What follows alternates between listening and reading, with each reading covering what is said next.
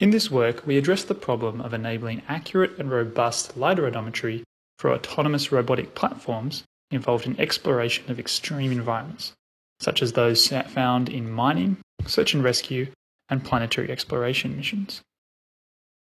In these scenarios, such as what you see here, onboard sensing faces severe perceptual degradation from conditions such as obscurance, self-similar areas, jerky sensor motion when moving over rough terrain, and even loss of individual sensor modalities.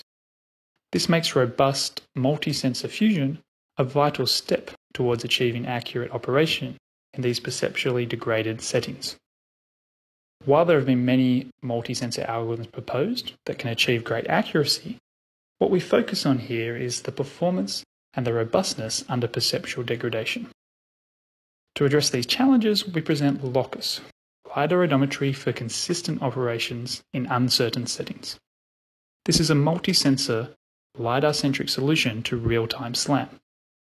We will show here how it can achieve top-class localization accuracy in perceptually degraded settings and is robust to sensor failures. LOCUS has been deployed on heterogeneous robotic systems in the DARPA Subterranean Challenge, where it was able to be part of Team COSTAR's solution that won the urban circuit. The proposed system can take a generic number of LiDARs and puts these through motion distortion correction steps. These are then fed into a point cloud merger to have one point cloud, which is then filtered to remove outliers and reduce the size of the LiDAR to manage computational load. This then goes into our scan matching unit to do the LiDAR alignment However, one of the key components of this is our injection of external sensor modalities, such as visual odometry, wheel odometry, kinetic odometry, and IMU. These go through our sensor integration module that produces a robust seed to our ICP method of scan alignment.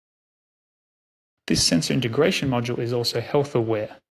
It looks at the different input sources, their covariance, the rate of input, and custom health metrics depending on the algorithm. With these, it puts out the most robust seed it can get to the scan matching algorithm. It does this with a priority queue. where we first consider the highest accuracy source, such as wheel inertial odometry. If that's not healthy, then it will consider the next highest priority source, for instance, IMU.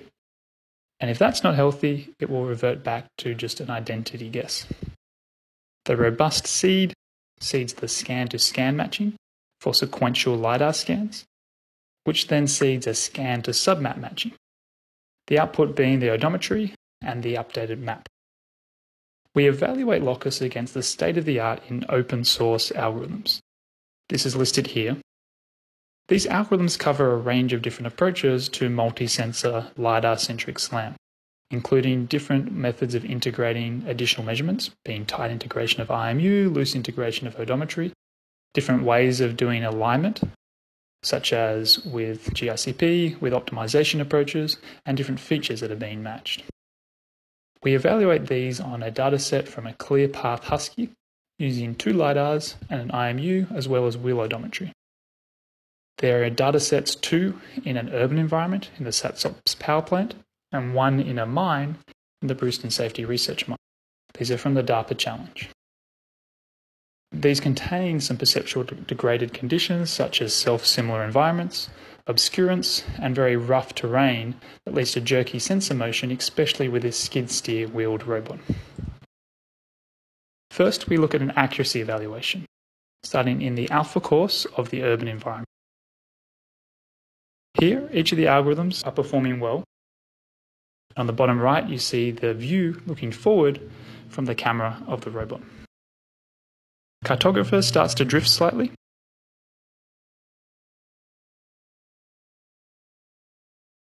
But overall, most algorithms are performing well. Locus has the best map error at 0.29 meters and the best odometry error at 0.62 meters. Next, we look at the beta course. This is in the urban environment as well. And we introduce LIO-mapping in this comparison, which you see in the middle on the top. LIO-mapping, while performing accurately, has a large delay with large computation times, so it's not able to operate in real time. However, all algorithms perform quite well on this dataset.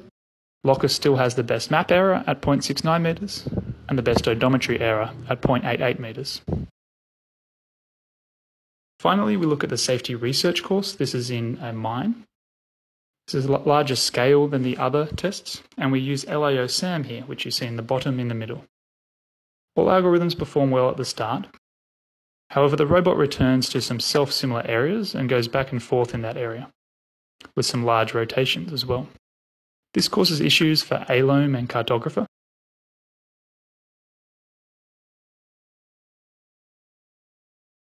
As the robots continue to the furthest extent of exploration, BLAM in the top right has some issues with the rotational error.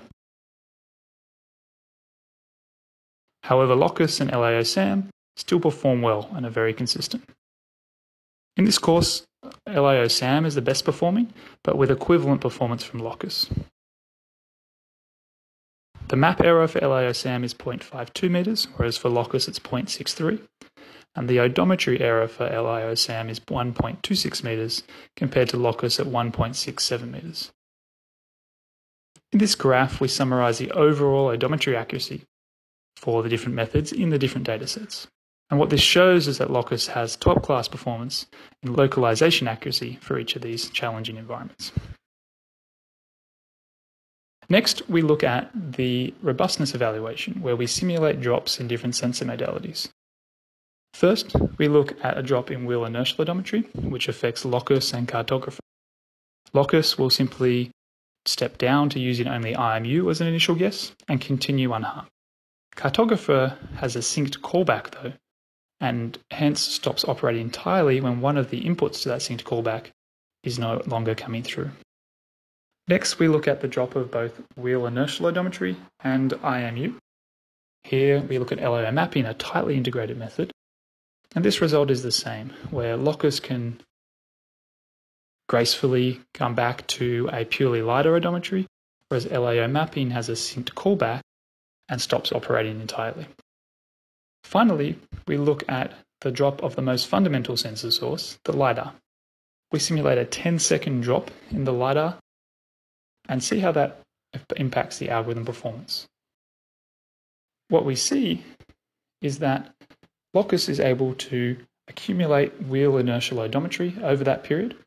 And so when the LiDAR returns, it is near to its correct position, and so the point cloud alignment from there forward is accurate. Other algorithms are not able to do that. They either rely on IMU integration or no information. So when the LiDAR returns, there is a large error in that resulting point cloud alignment.